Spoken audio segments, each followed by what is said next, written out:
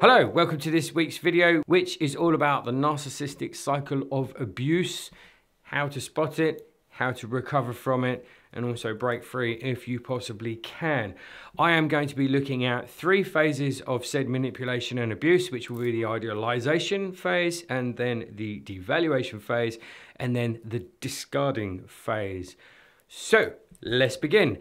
The idealization phase. Now, this often takes the form of what's commonly referred to as love bombing, and you'll probably get sex bombing involved in that as well. What's love bombing? What's sex bombing? Well, they kind of go hand in hand. Basically, you are bombarded with someone's affections. You're amazing. Uh, they treat you like a king or a queen. You're amazing. You're the best thing that's ever happened to me. We're twin flames, kindred spirits, soulmates. Um, I've never experienced a relationship like this. They kind of latch onto you and spend as much time with you as possible whilst telling you how amazing you are and that you guys should make this kind of pact to be together forever. And you will tend to find this happens quite early on within a relationship. Now, slight disclaimer here. Not everybody who does this is a narcissist. Yes, it can be a red flag if you come across it, but you should approach this with some level of caution and open mindedness because some of us out there who have been on our own for a while or in and managed to escape the clutches of uh, more dysfunctional, distasteful relationships may well happen to come across somebody um, perhaps you out there, and are completely overwhelmed by how amazing this is and how balanced and equal and all the rest of it. And they're really, really enjoying it. And their expression of it is to kind of go blah, blah, blah, um, and shower you with how they're feeling. It's not necessarily a red flag that you're involved with a narcissist. Call it an orange flag. Maybe it just needs to be kind of kept at the back of your mind a little bit. Okay, what's going on here? If it is narcissistic manipulation and abuse, um, or the beginning of that cycle of abuse, then it's commonly referred to as the idealization, idealization phase. So, like I said, love bombing, sex bombing. Sex bombing kind of speaks for itself. Once you understand love bombing, the sex bombing process is the same as well. They will give you everything you want in the bedroom, um, and they will want it a lot.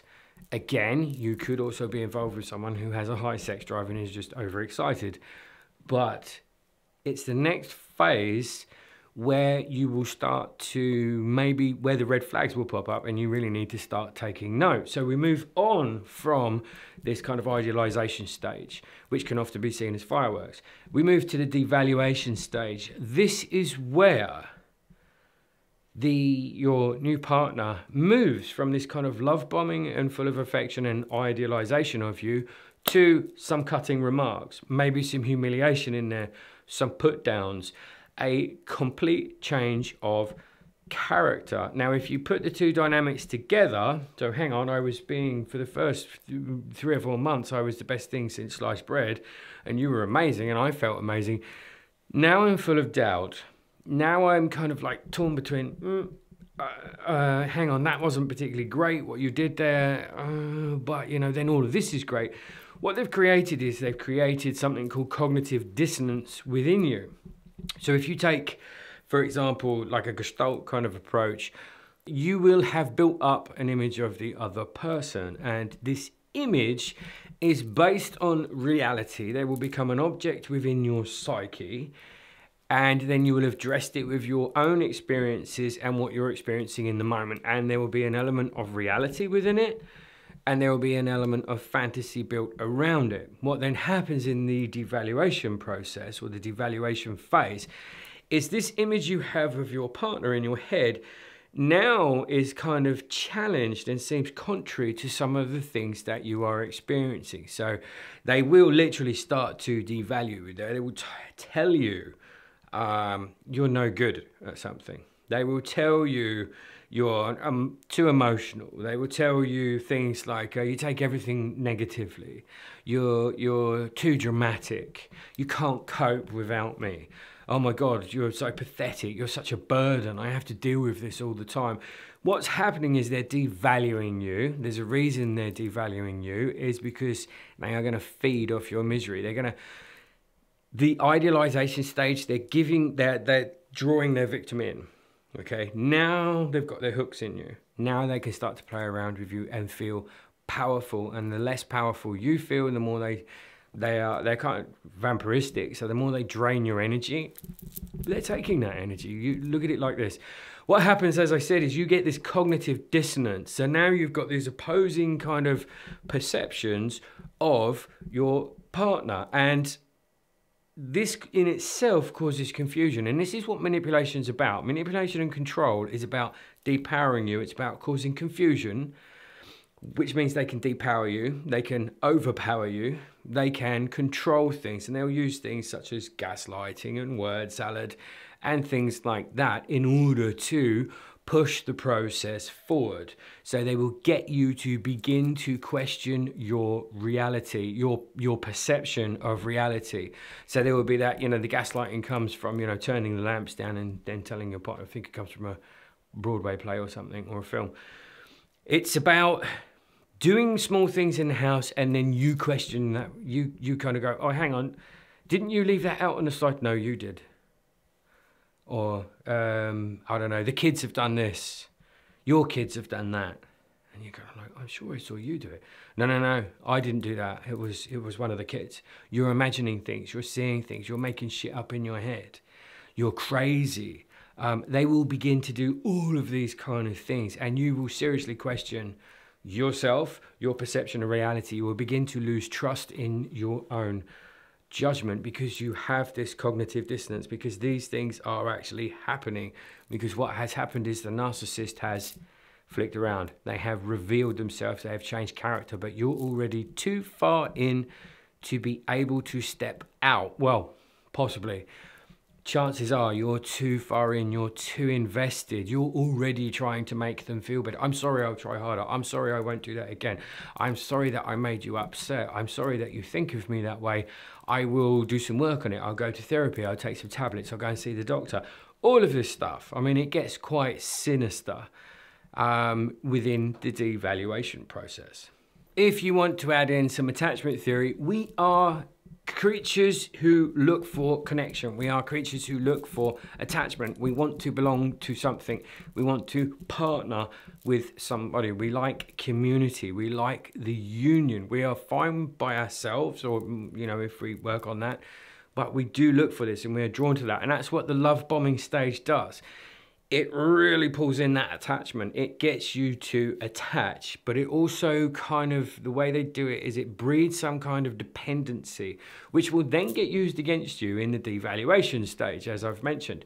So, once you're attached, once you're in, once you're hooked, then the devaluation process starts, and then you're still attached but you have this cognitive dissonance. You're unsure how you're going to break away from it. Should you break away from it? Is it the right thing? And the more you're depowered, the more you're devalued, the less likely you are to leave because you're not going to have enough self confidence, self worth, and self trust to be able to leave. And this is what they rely on. Then they will move to the next stage once you are this gibbering, kind of crumbling wreck, unless you have picked up on it early enough and you have kind of gone, whoa, hang on a minute you need to stop what you're doing right now or we are done, in which case they will probably say adios pretty quick unless they don't have anywhere to go. And then they will start the process again, you get drawn in, then they start devaluing again. So it goes round and round in cycles because the narcissist always has to come out on top. Can you imagine? Can you just imagine as a narcissist, you don't come out on top, what that does to your self identity? They're unable to cope with that. Their whole fragile sense of self, their whole false self that they've built up around them for years, will crumble and disintegrate. They're not about to let that happen. So they will discard you before you, before you are able to discard them. Now, this discard process can be quite slow or it can be quite quick and it will be harsh and boom, and they're off probably quite quickly with somebody else um, at this point. They've found more narcissistic fuel supply and they're just after that because you're this wreck and you will be humiliated a bit further and further and you have an awful uh, long road of recovery to go. Now, depending on how long this has been going on for, depends on how much you might have to pick yourself up. If you have become like Echo in the tale of Narcissus and Echo, you will have an awful long way to go because you'll be a shadow of your former self. You will have experienced everything I said the gaslighting, the word salad, uh, all of the confusion, the cognitive dissonance, you will, chances are they'll even try to vacuum you back up. So when they're off out there doing their thing, and then they decide, oh, this is a bit lacking, I'll see if they're still interested. There's a reason they do that because if you if you go for the if they cast the hook, fly the kite up, and you respond they get some narcissistic kick out of it. They get some fuel supply from it. And it's like, I've still got them and I can have them back like that. And then I can manipulate them again and drain them. So once a narcissist has left your life, make sure they stay gone. Work on yourself. There is, there will be, and this is some of the hardest stuff to do there will be reasons that, and I don't want to do, it's not about victim blaming. There will be things about you that they saw, that they latched onto. Maybe you were very lonely. Maybe you were quite vulnerable. Maybe you wear your heart on your sleeve and you fall in love too quick. Um, maybe you are terrified of being alone. Um, they will see these weaknesses of yours, if you like. They will see these attributes of you, your hopes, your desires, your dreams, and that's what they head for because they will spot you out like a victim. So they'll go, ah, this one's going to be easy. I can manipulate this person. Narcissists don't try and waste time manipulating someone who can't be manipulated. Manipulated. They don't try and waste time manipulating someone who is too emotionally closed, is not interested in love, etc., etc. They manipulate and control for their own gain, so they look for the most susceptible. If you can kind of do some of the work on yourself afterwards and figure out, ah, yeah, this is what it is. I love too quick. I give too much of myself away. I become quite codependent quite quickly. Um, I've got mummy issues. I've got daddy issues, etc., etc. Um, I'm desperate for love. I hate being on my own these are some of the things where you kind of can go, okay, there's nothing wrong with that, but they do leave me vulnerable for manipulation. So I need to work on some of these things, get a little bit more robust in these areas, get a little bit more strength, a little bit more uh, self esteem, self worth, self sustaining, able to enjoy my own company, not be in too much of a rush to get into a relationship, take things slowly, let things unravel, let things expose themselves before I kind of really, really fully commit. And it's from this learning. And the, here's the other thing that I would like to say as well. If you have been caught up with a narcissist and you have been through that cycle of abuse and manipulation and control, it isn't your fault. They are hard to spot. They are hard to see coming. And you it might happen to you once or twice or three times or four times because the disguises get better and better. They get the better you get at spotting it, the better they get, well, the more advanced ones will come your way and try and pick you out, if that makes sense. And like I say, the idea is to go, okay, mm, orange to red flag there, red flag there, red flag there, adios, I'm done. I don't even need to wait and see where this goes. I know where this is going. If you are in a relationship and you come away and something doesn't feel right, something's a question, there's a doubt, it kind of shouldn't be there. So chances are it's there for a reason. Trust it, listen to it, analyze it.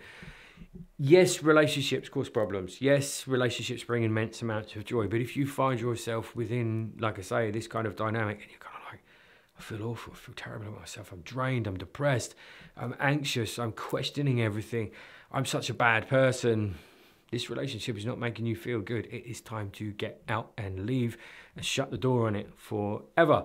And if they do contact you again, hi, bye, or don't respond at all. Uh, I hope that helps. And until next time, please take very good care of yourselves. Adios.